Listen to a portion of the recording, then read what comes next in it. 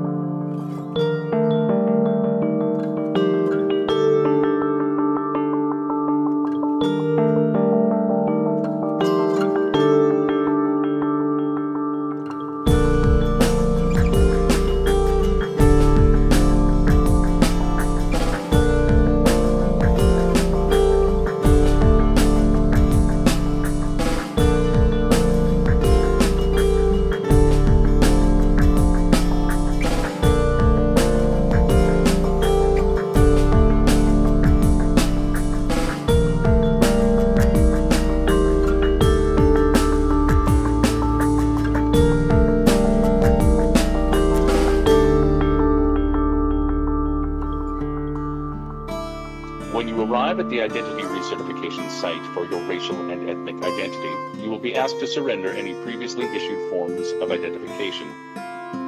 If you currently have in your possession a driver's license, passport, or birth certificate, you will be processed more quickly.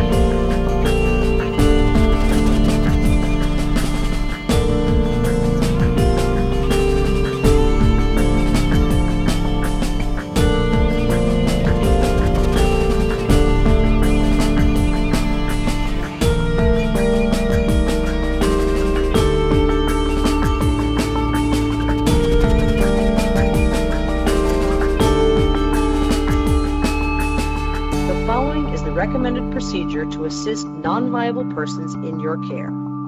If you can, move the non-viable person to the nearest human remains removal site. Cover the non-viable person's head with a cloth or piece of cardboard. Pick up the heaviest object that you can lift, a rock or a piece of concrete, and drop the rock from a height of at least three feet directly above the center of the non-viable person's head. Rocks and suitable objects can be found at all human remains removal sites. It is not necessary to look under the covering to determine if the non-viable victim is still alive. If you are unsure if you were successful in your assistance effort, adjust the head covering if necessary and drop the rock again.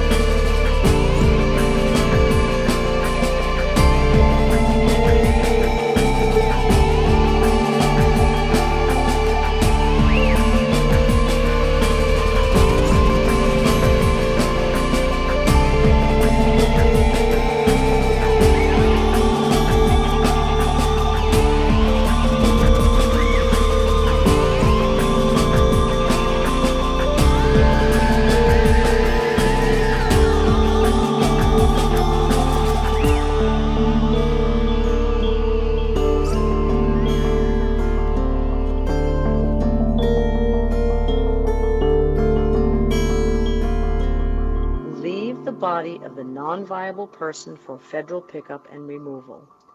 Do not remain in the area. Move on to your gathering site.